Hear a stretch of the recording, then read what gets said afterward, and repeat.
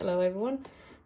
Today I'm actually going to show you two books of colouring which I have finished and completed over the last few years.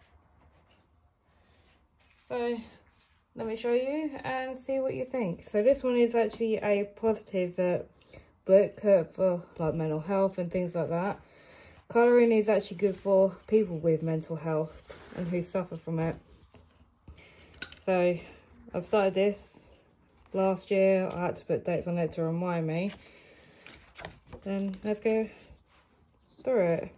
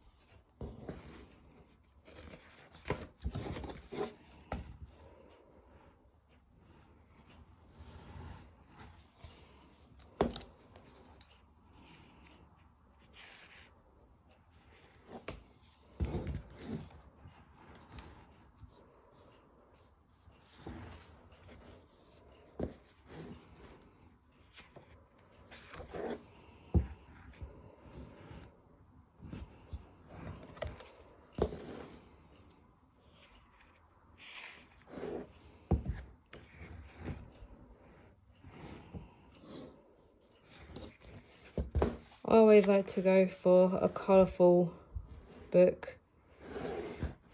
You don't have to be wrong or right in art. You just have to display what, what brings out your personality and what relates to you.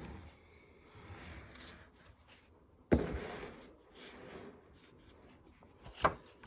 also, uh, they're quite bold as well.